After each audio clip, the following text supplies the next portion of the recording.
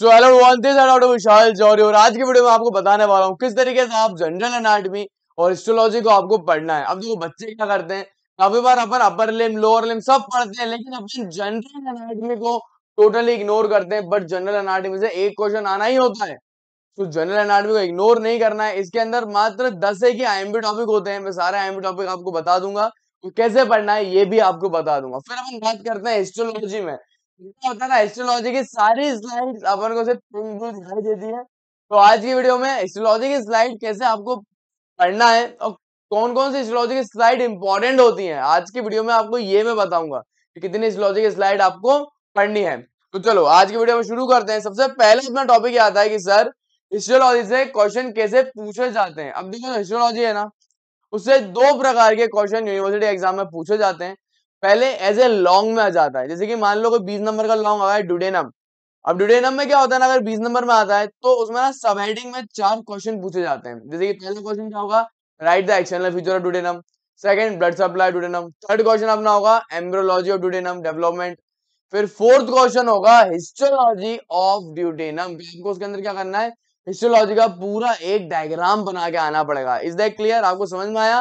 किस तरीके से क्वेश्चन पूछा जाता है? लॉन्ग में पूछा जाता है। फिर डायरेक्टली शॉर्ट नोट में भी आ जाता है कि आपको हाईलाइन कार्टिलेज का आप डायग्राम बनाइए हिस्टोलॉजिकल डायग्राम या फिर अपने किसका आप डायरेक्ट स्टोमक का हिस्टोलॉजिकल डायग्राम बताइए तो इस तरीके से यूनिवर्सिटी में क्वेश्चन पूछे जाते हैं और पाँच नंबर सीधे मिलते हैं। बहुत ही आसान है। ठीक है तो इसके आपको इतने ही सारे को आईएमपी बताने से पहले ये बताता हूँ कि आपको कैसे ड्रॉ करना पड़ता है एस्ट्रोलॉजिकल डायग्राम अपने यूनिवर्सिटी एग्ज़ाम्स में। तो देखिए, यहाँ पे सारे मेरे नोट्स हैं एस्ट्रोलॉजी के डायग्राम के और आपको ना ये मेरे हैंडमेड डायग्राम ये हाथ से बना के मैंने लगाए थे। तो आपको इस तरीके से डायग्राम बनाना होता है। पहले अगर ये मान लो पाँच नंबर में एस्ट्रोलॉजी का डायग्राम आया, ठीक है, ये अपनी हाईलाइन कार्टिलेज का डायग्राम है।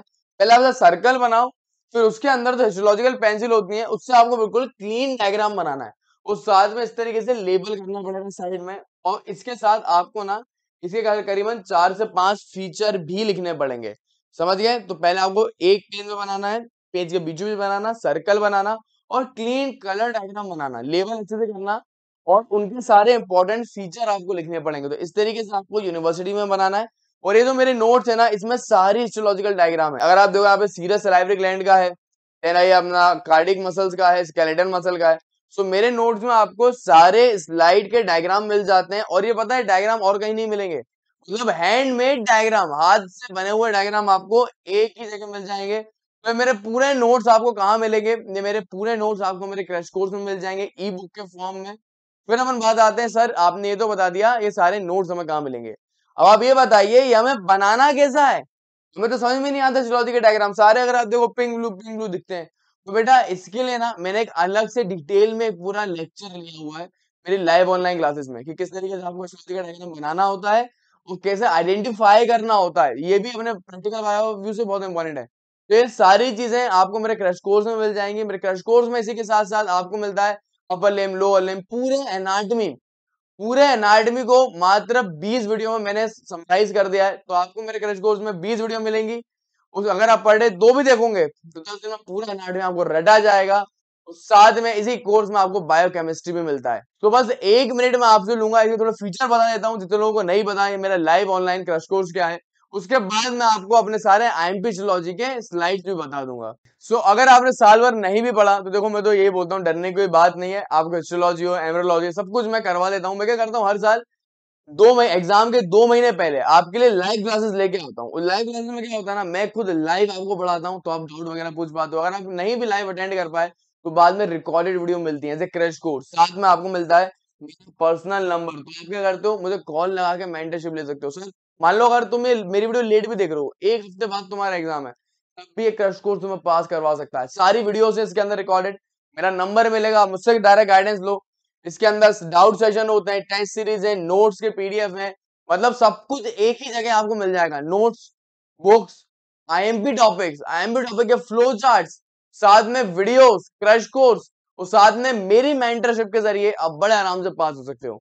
तो सारा मेरा कोर्स अवेलेबल है मेरे ऐप पर। अब ऐप में जा सकते हैं। एनाटमी के साथ साथ बायो केमिस्ट्री फ्री है। मतलब एक कोर्स के साथ दूसरा कोर्स फ्री ऑफ़ कॉस्ट में आपको मिल जाएगा।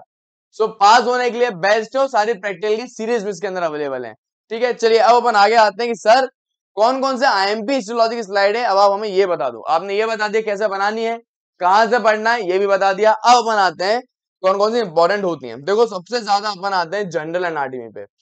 यहाँ ना हाइलिन कार्टिलेज काफ़ी बार यूनिवर्सिटी में रिपीट हुई है। अच्छे से याद कर लेना हाइलिन कार्टिलेज बहुत ही एक इंपॉर्टेंट क्वेश्चन है अपने लिए। हाइलिन कार्टिलेज हो गया हाइलिन का फिर सीरस कार्टिलेज हुआ। फिर अपनी मसल में कौन सी मसल इंपॉर्टेंट है? स्केलेटल मसल कार्डिक मसल ये सारी इंपॉर्टेंट होती है। फिर अपन जनरल के बाद अपन आते हैं किसमें अपने लिम्फेटिक सिस्टम में। स्प्लीन की हिस्टोलॉजी में स्टार मार्क कर लो।